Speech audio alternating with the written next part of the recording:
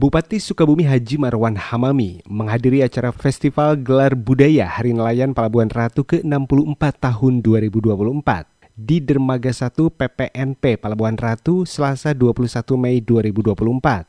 Festival Nelayan Pelabuhan Ratu yang masuk dalam Karisma Event Nusantara atau KEN 2024 Kementerian Pariwisata dan Ekonomi Kreatif Kemen Parekraf RI disambut antusias masyarakat. Bupati Sukabumi menyatakan, festival nelayan merupakan tradisi masyarakat nelayan sedari dulu sebagai ungkapan rasa syukur kepada Maha Pencipta atas kekayaan hasil laut yang melimpah.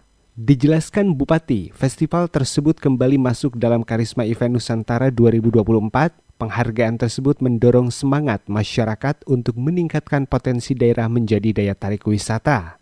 Masuknya Festival Nelayan Palabuhan Ratu dalam PEN 2024 Bupati meminta kepada Kementerian Pariwisata dan Ekonomi Kreatif untuk terus mendorong pariwisata Kabupaten Sukabumi menjadi tumbuh dan berkembang sehingga potensinya dapat menunjang pertumbuhan ekonomi dan kesejahteraan masyarakat.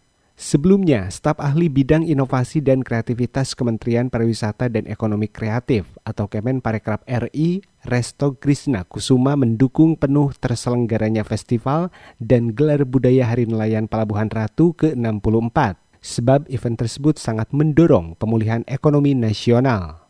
Disampaikan Restog, Hari Nelayan Pelabuhan Ratu masuk dalam KEN 2024 dan menjadi kegiatan unggulan Kemen Parekraf RI karena selain menyajikan pergelaran kebudayaan dan adat istiadat juga menampilkan kearifan lokal serta berbagai produk UMKM khas Kabupaten Sukabumi.